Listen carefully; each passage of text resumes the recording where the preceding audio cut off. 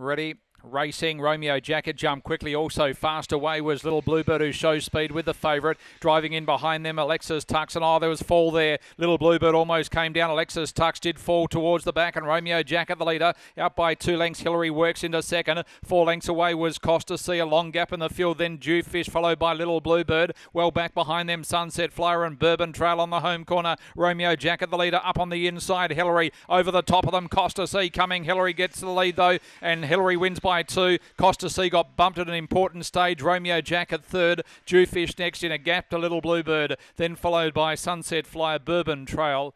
And unfortunately, one of them, Alexis Tux, failed to complete the course.